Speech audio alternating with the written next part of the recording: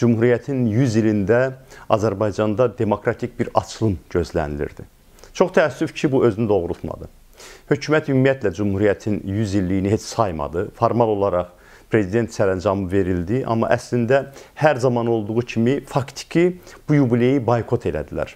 E, çalışdılar ki, hətta Cümhuriyyətin 100 illiyində də Cümhuriyyət qurucularını unuttursunlar. Xüsusilə Məhəmməd Əmin Rəsulzadəyə ögey münasibət bu ildə davam elədi. Çox təəssüf ki. Və bir çox gözləntilərə baxmayaraq nə amnistiya oldu, nə əfv oldu, nə demokratik açılım elan olundu, nə dövlət səviyyəsində cümhuriyyətə, cümhuriyyətçiliyə, demokratiyaya münasibət dəyişdi.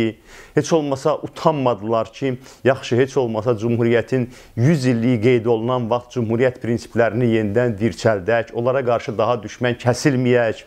Çox təəssüf ki, bunların heç biri olmadı.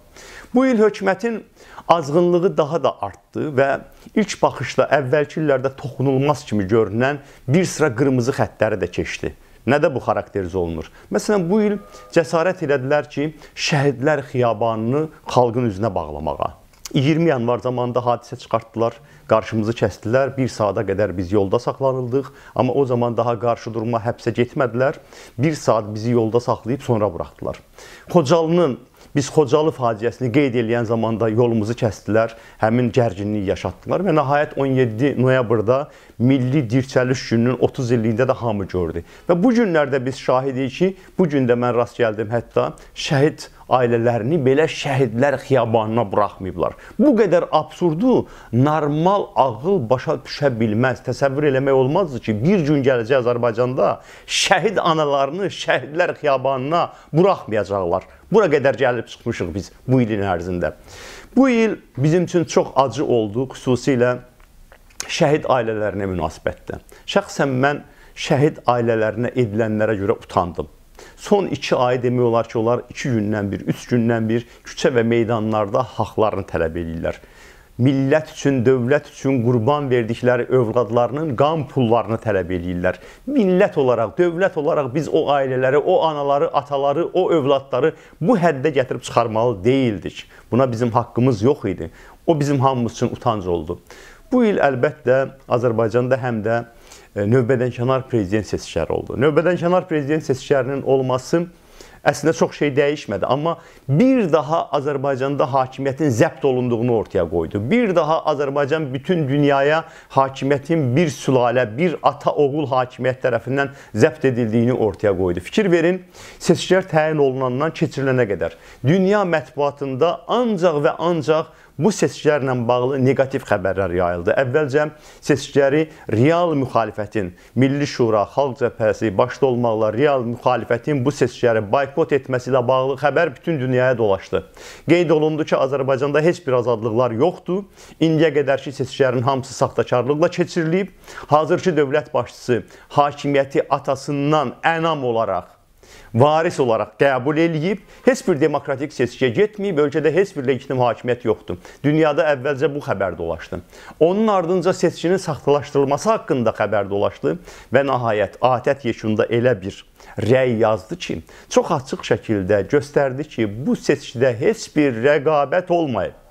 Heç bir azadlıqlar təmin olunmayıb və demək olar ki, rəqabətsiz formal bir seçki keçirdi İlham Əliyev. Baxın, bu il həm də bununla xarakterizə olundu. Bu il əlbəttə çox ağır sosial məşəqqətlərlə xarakterizə olundu.